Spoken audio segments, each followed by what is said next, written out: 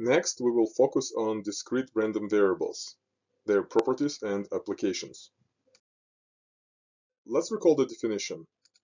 A discrete random variable is a random variable whose possible values can be listed.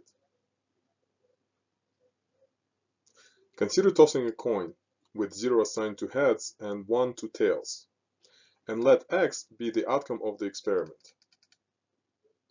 By definition, we can list the outcomes and their probabilities side by side in the form of a table. The table that summarizes the possible values of a variable x and the corresponding probabilities is called the probability distribution table of x. Note that the sum of all probabilities must add up to 1. Consider rolling a die and let y be the outcome of the experiment. We construct a probability distribution table for y by listing all possible outcomes and their probabilities side by side in the form of a table. Again, note that the sum of all probabilities must add up to 1. Sometimes it takes more effort to create the probability distribution table. Consider the following example. Let u be the number of heads out of two tosses of a fair coin. To construct the probability distribution table for u,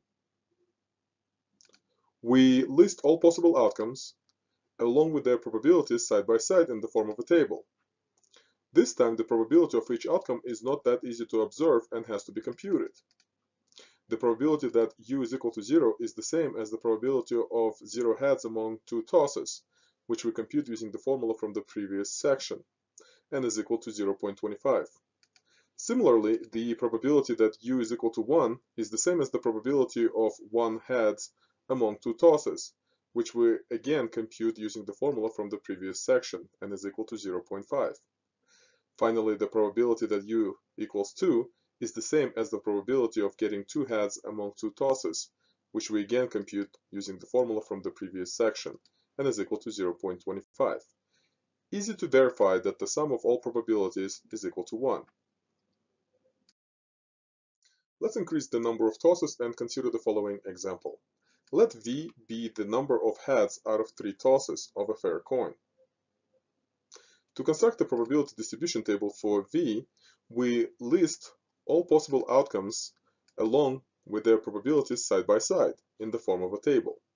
Again, the probabilities of each outcome is not that easy to observe and has to be computed the probability that v is equal to 0 is the same as the probability of getting 0 heads among three tosses, which we compute using the formula from one of the previous sections and is equal to 0.125. Similarly, the probability that v is equal to 1 is the same as the probability of getting 1 heads among three tosses, which we again compute using the formula from one of the previous sections and is equal to 0.375. Similarly, the probability that v equals 2 is the same as the probability of two heads among three tosses, which we again compute using the formula from one of the previous sections and is equal to 0.375. And finally, the probability that v equals 3 is the same as the probability of getting three heads among three tosses, which we again compute using the formula from one of the previous sections and is equal to 0.125. It is easy to check again that the sum of all probabilities is equal to 1. Consider another example. Let u be the number of heads out of two tosses of an unfair coin for which the tails are twice as likely as heads. To construct the probability distribution table for w, we list all possible outcomes along with their probabilities side by side in the form of a table.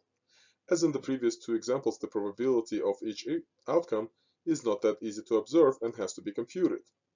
The probability that W is 0 is the same as the probability of getting 0 heads among two tosses, which we compute using the formula from one of the previous sections, and is equal to 0.44. Similarly, the probability that W equals 1 is the same as the probability of getting 1 heads among two tosses, which we again compute using the formula from one of the previous sections and is equal to 0.44. Finally, the probability that W equals 2 is the same as the probability of getting two heads among two tosses, which we again compute using the formula from one of the previous sections and is equal to 0.11. It is again easy to verify that the sum of all probabilities is equal to 1. In this case, there is a rounding error. Sometimes the probability distribution table can be created using the theoretical probabilities as in the previous three examples.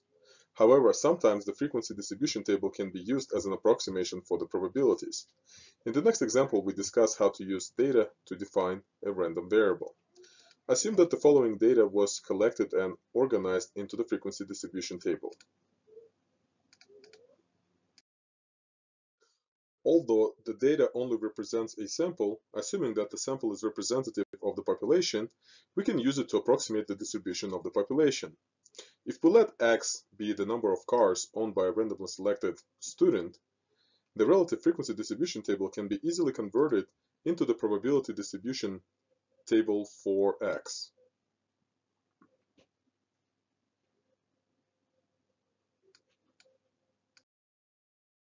We just learned that a discrete random variable can be described entirely by the probability distribution table, which is basically the list of all possible values of the variable along with their probabilities.